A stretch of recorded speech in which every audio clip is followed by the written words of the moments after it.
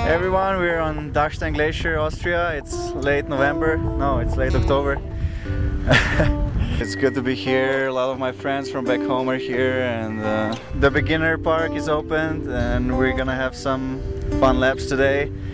It has three different lines, cool to ride. It's beginning of the season, so it's fun to do some small rails. And the, the Pro Park opened up the rail line today, so we're gonna go and see it later. Yeah, so everyone should come here and check it out.